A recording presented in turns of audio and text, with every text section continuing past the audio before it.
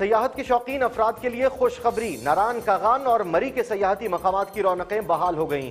Transport और छोटे बड़े कारोबार खुल गए। मकामी लोगों और सयाहों ने हकूमती फैसले पर खुशी का इजहार किया है।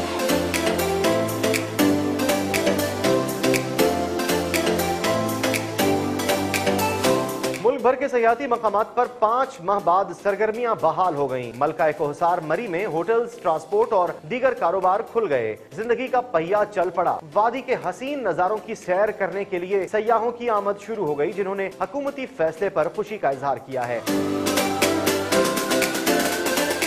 नारान और शुगरान में भी दिल फरेब नजारे हैं। झील, सैफुल मलूक, बाबू सर टॉप और सिरिफाए में मौसम इंतहाई दिलकश है। सयाहत ओपन होने पर मकामी लोगों की खुशी भी देती है। दूर दराज इलाकों से आने वाले सयाह भी हसीन मौसम से लुत्फ अंदोज हो रहे हैं।